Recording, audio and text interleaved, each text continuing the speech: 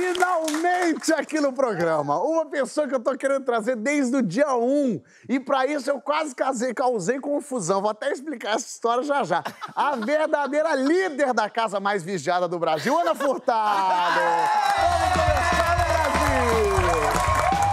Mas você sabe quando quando eu comecei esse programa aqui, eu, eu, eu fui atrás de todo mundo para pedir história. Eu quero história, tem história, tem história. Eu virei o um maluco da história. A pessoa me encontra, Fábio, pode tirar uma foto? Eu falei, tem história? Eu já tô assim meio louco. e aí fui ligando para todo mundo e uma das pessoas que eu falei, convida a Ana Furtado, que eu tenho certeza que ela tem história. E a Ana mandou uma mensagem para mim, super carinhosa, falando, Fábio, eu não tenho história, eu não sei contar história, eu tô te ligando para dizer, para você não se ofender, não achar que eu não quero ir no seu programa. Pelo amor de Deus, eu quero muito, é que eu não tenho história e aí eu não vou. E aí eu falei, Ana, eu até prefiro quando a pessoa fala isso. E eu acho ótimo, é melhor isso do que a pessoa que chega e não tem história nenhuma e fica assim. E aí eu fui dar uma entrevista na última temporada, as pessoas a, a repórter perguntou: Ô Fábio, tem alguém que já disse não pro seu programa? Eu falei, sim, teve. A Ana Furtado, por exemplo, disse que não ia vir porque ela não tinha história, não sabia contar. E eu falei, eu acho isso maravilhoso. E aí saiu no jornal isso, Ana Furtada negou o programa. Aí eu, ai meu Deus do céu. meu filme! Aí eu li isso e falei... Não, é normal acontecer. Será que a Ana vai se oferecer? Aí, eu, a minha percepção, eu falei, eu vou ligar pra Ana. Eu falei, Ana, eu tô te ligando, porque saiu essa matéria, mas ela, Fábio, já chegou até mim, já falaram que você estava maldando. Aí eu falei, meu Deus do céu, não é isso, o pelo amor de Deus. quem chegou até mim? Quem? Boninho. Boninho ah! falou.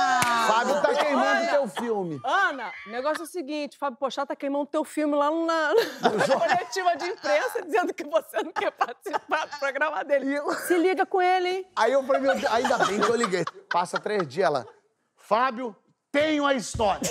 Agora eu tenho. Eu, eu não sei se ela eu tem arrumei, a história. Eu me meti de... numa confusão pra ir no seu programa contar uma história. Ou seja, depois de toda essa confusão, Abemos história. Abemos história. E uma história ai, que ai. podia terminar em coisa ruim, hein? Vai lá.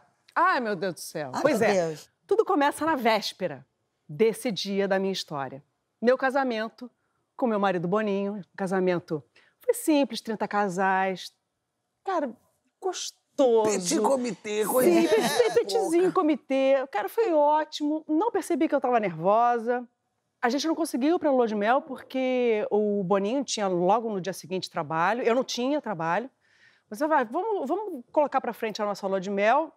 Aí eu falei assim, então, Boninho, pelo amor de Deus, então vamos fazer pelo menos uma coisa diferente dentro da tradição de casamento, né? Vamos para um hotel. Pronto. E aí a gente foi pro hotel, tivemos a nossa noite de núpcias. E aí no dia seguinte ele falou assim, bom, meu amor, vou trabalhar. Eu falei assim, não, você tem que me levar pelo menos para almoçar fora, né? É Não, para ter, um, ter um brilho, né? Afinal de contas, a gente se casou ontem, né? E aí ele me levou para um restaurante que nem tem mais, que é o Antiquários. E aí o almoço foi uma delícia, na hora do cafezinho, eu pedi o cafezinho, fui pegar a xícara, e aí eu não sentia a asa da xícara, porque os meus dois dedos, o indicador e o, e o polegar. polegar, estavam dormentes. Aí eu falei, Boninho, que coisa estranha os meus dedinhos não estão funcionando. Ele falou assim: ah, para com isso, tá de palhaçada. Eu, não, não tô, não, não tô sentindo. Vai passar. Fui pegar de novo o cafezinho. Eu falei assim, Boninho, agora é a mão que tá dormente. O que, que você fez na noite Como de é que eu... hein? Gente, esquece. Boninho do céu, pelo amor de Deus, Boninho, pede a conta. Ele falou assim: não, agora você tá impressionada, meu amor, tá tudo certo. Fica tranquila, fica calma, deixa eu beber meu licor. deixa eu beber e eu, eu assim, eu assim, porra, porra, Boninho, tá bom, tudo bem. Aí ele falou assim: bom, agora quer mais o licor? Eu falei assim, Boninho. Ih! o braço? Ferrou. E cada vez que eu ia ficando mais dormente, eu ia ficando torta, né? Eu falei assim, agora é o braço eu não tô conseguindo mais le levantar o braço. Ele falou assim, porra, tu perdeu a validade depois que eu casei com você? É isso mesmo?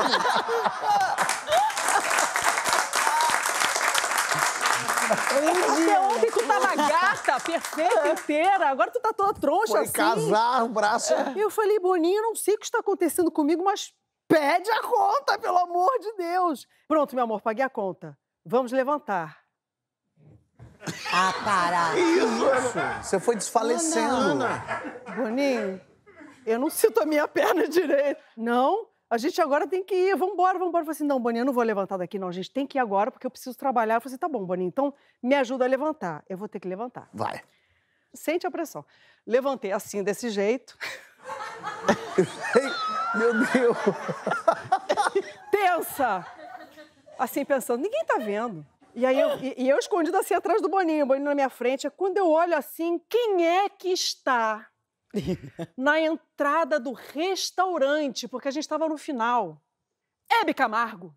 Hebe Meu Camargo. Deus. Gente, Até por isso estou vestida de Hebe. Mas você conhecia a Hebe? Não, eu sempre tive um sonho de conhecer a Hebe. Você tava o corcunda de Notre Dame conhecendo a Hebe. Boninho, você me esconde atrás de você e você não para pra falar com a Hebe. Aí ele, não, pode deixar. Aí fui, né? Gracinha! Ela viu o Boninho. Putz, grilo, a Hebe viu o Boninho. Aí ela se levantou, aquela mulher, né? Aquele louro platinado que ninguém nunca vai ter igual. Classuda. Maravilhosa. Ele falou, querido, que gracinha que você tá, Boninho, deixa eu te dar uma bitoquinha. E aí ele falou, aí ele falou, oh, Hebe, quanto tempo, como é que você está? Ah, e eu assim, né, escondida, atrás dele. Aí ele, até que tem um momento que ele fala assim, Hebe, deixa eu te apresentar. Eu, não, não, Não. de- de- deixa eu te apresentar a minha mulher, Ana Furtado. Aí ele sai da frente, eu tô assim. Você tava falando normal? Só que aí, o lado direito da cara Travou em... já tinha Ah, é começado isso, a Ana. ficar dormente também. Eu não conseguia mais falar. E aí ela falou, muito prazer, Ana. Aí eu falei assim, prazer é tudo meu, é. aí o Boninho falou assim, nós nos casamos ontem e tal. Ai, parabéns, que gracinha, que lindo. Eu falei assim, poxa, Hebe, eu sou tão sua fã. Mas eu não estou no meu melhor momento. Eu estou no meu melhor É muito Aí bom. ela falou assim: querida, você é maravilhosa, como é linda, conheço o seu trabalho. Eu, meu Deus, ela me conhece! Muito fã e tronco. Obrigado. Aí fui pra casa. Foi pra... Onde foi pro hospital? Não fui pro hospital. O Boninho Porque eu tinha, sabia cantar tinha terminar música. o licor dele em Não era um casa. AVC, gente. Bom, Chegou depois eu casa. descobri que não, era, não foi nada demais, mas enfim. Cheguei em casa, arrasada. Encontro com a No Hebe. dia que eu fui, tive a oportunidade de conhecer a Hebe Camargo. A Hebe! Ai, gente. Aí Não, eu mas falei daí assim, você não, pensa mas... o quê? Ela chegou em casa mal? Você acha que ela ligou pro hospital, que ela foi pra clínica? Não. Tô chocada que ela não foi pro Não, hospital. o que, que ela fez? Sabe pra quem eu liguei? Pro restaurante pra falar com a Hebe. Ela queria falar com a Hebe de novo. Sério? Sou psicopata. Eu liguei pro restaurante. Ô, Antônio, que chama a dona Hebe aí pra mim. Quem que tá falando? Dona Ana Furtado. Nossa, senhora tá com uma voz ruim, porra, nem me fala. e aí ela veio. Gracinha, querida, adorei te conhecer, Hebe. Quero te pedir desculpas, porque aquela que você conheceu no restaurante não era Não eu. eu. Era eu, mas não era eu. Eu estou arrasada porque eu estou passando mal. Eu estou tendo um piripaque, eu não sei o que eu tenho.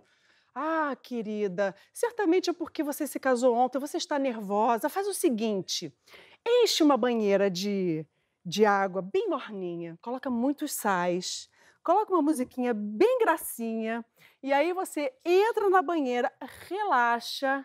Depois você sai da banheira, coloca uma roupa bem gostosinha para o seu marido e dá para ele gostoso quando ele chegar em casa. Hebe Camargo. Hebe Camargo, maravilhosa. É por isso que a medicina tá morrendo nesse país. Não precisa disso. Tenho certeza que você vai melhorar. E- Eu falei, Eve, muito obrigada. Quem sou eu para dizer que o seu conselho não vai dar certo? Claro. Muito obrigada, querida. Um prazer enorme. Desliguei. Fiz o que a Hebe mandou. Não sou boba? claro. Mentira, tu não foi pro hospital, você obedeceu a doutora Hebe. Banheira, sais, água, deitei.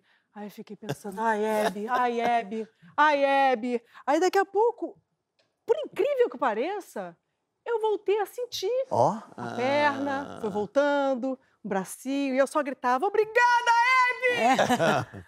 e aí, fiquei ótima, coloquei aquela roupinha. Boninho chegou em casa e ele, nossa, você está se sentindo bem? Eu falei assim, estou se me sentindo ótima, querido, vem cá! boninho... E aí, claro, no final foi obrigada,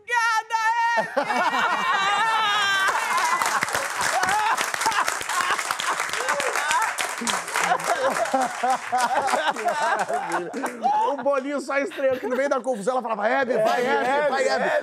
Maravilhoso. Não, mas eu não falei, tá, gente? Eu só pensei. É.